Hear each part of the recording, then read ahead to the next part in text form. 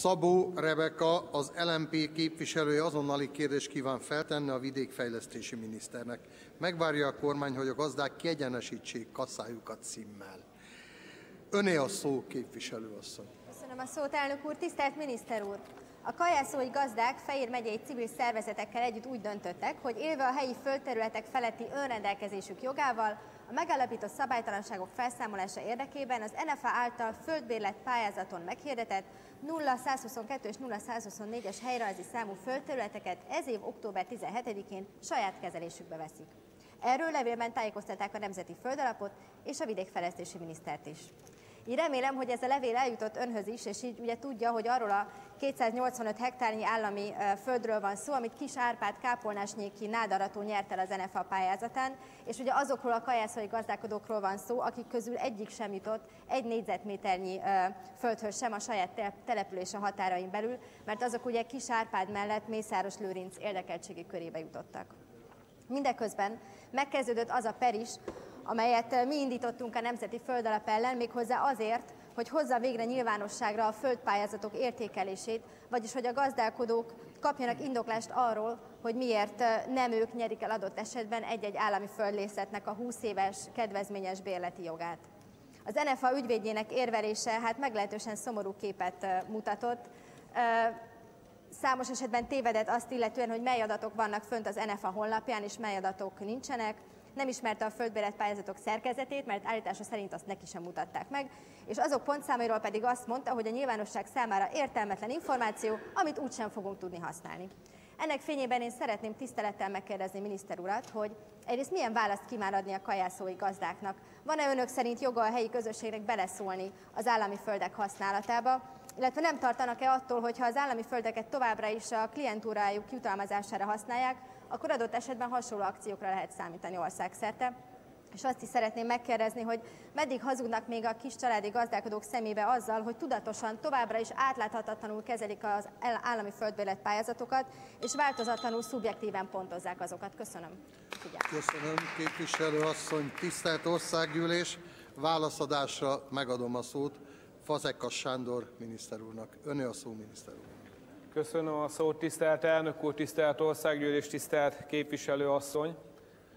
Nem először hozza már képviselő asszony szóba a Fejér megyei földhaszonbérleteket, illetve olvassa fel, ha egészen pontos akarok lenni, azokat a előre megírt szövegeket, amelyeket másoktól kap. Én nekem meggyőződésem, meggyőződésem,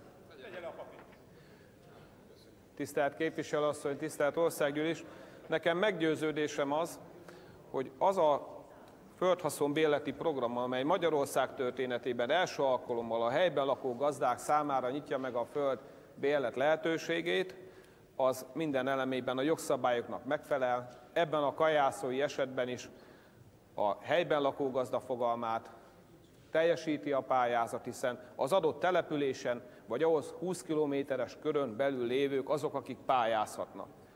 Tehát ebből a körből került ki a pályázat győztese, a pályázaton eredményesen szereplő gazdálkodó a mezőgazdaságban tevékenykedik, a nádaratás is ebbe a körbe tartozik egyébként, sőt a nád, mint mezőgazdasági profil ebbe a körbe tartozik.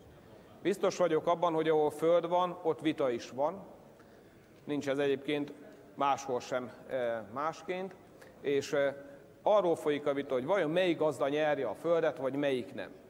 Nekem a meggyőződésem az, hogy a legjobb pályázatot író, vállaló, helyben lakó családi gazdálkodók azok, akik ezeken a pályázatokon eredményesen szerepelnek. Ebben az esetben is a földpályázat valamennyi körülményét, valamennyi tényt és adatot kivizsgáltattam, a Nemzeti Földalaptól a jelentést bekértem. Ezen az sem változtat, hogyha ön, kedves képviselőasszony, hetente, vagy hetente akár többször is ugyanazt a kérdéssort előveszi, fölteszi, újságban nyilatkozik, sőt, földosztást vagy földfoglalást tervez vagy szervez. A tények attól tények maradnak, a tények pedig azok, amelyeket felsoroltam. Köszönöm. Megköszönöm miniszter úr válaszát, viszont válaszra megadom a szót képviselőasszonynak. Tisztelt miniszter úr, talán mégiscsak jobb lett volna, ha ön is papírból olvassa a válaszát, ugyanis az, amit most elmondott, az gyakorlatilag ugyanaz a semmitmondás volt, amit ön is már hetek vagy hónapok óta mond itt az állami földbélet pályázatok kapcsán. Én megkérdeztem, hogy ön mit válaszolna a kajászói gazdálkodóknak, és nekik nem mondott semmit.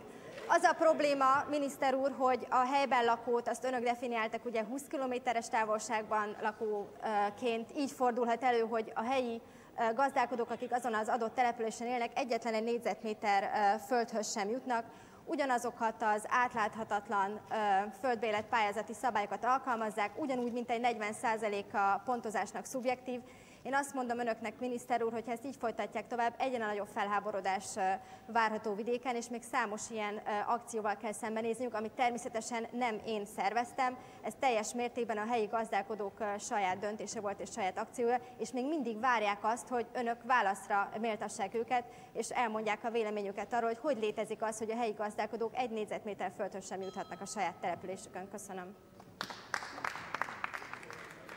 Tisztelt Országgyűlés, viszont válasz illeti meg miniszter urat. Öné a szó, miniszter úr. Tisztelt képviselő asszony, tisztelt Országgyűlés, elmondom én azt, hogy mi az, ami igazán felháborító. És nem is okvetlenül az, hogy ön azt mondja, hogy érti a vidéki dolgokat, hiszen járod a szénát lapátolni. Szerintem igazán ezt ön mondta. Gratulálok. Az igazán felháborító az, tisztelt képviselő asszony, hogy az LMP miután eredménytelenül szervezett ide a Kossuth térre már több gazdatüntetésről, a részvevők száma 5 és 0 között volt, utána földfoglaló akciót szervez, tiszta politikai haszonlesésből, és utána ezt itt az országgyűlésben igyekszik megerősíteni. És ha megnézzük ezt a földfoglaló akciót, az is látszik, hogy jogi segítségét egyébként a Jobbik egyik ügyvéd képviselőjéhez irányítja az érintetteket. Gondolom ez egy helyi LMP Jobbik alkalmi koalíció, vagy valami ehhez hasonló dolog. Tisztelt képviselőasszony, ön már javasolta az agrártámogatások csökkentését. Az előbb, néhány nappal ezelőtt pedig adót akar kivetni az LMP a magyar vidékre, a magyar mezőgazdaságra. Szerintem erre nincs szükség, és az LMP-re sincsen szüksége a magyar vidéknek. Köszönöm.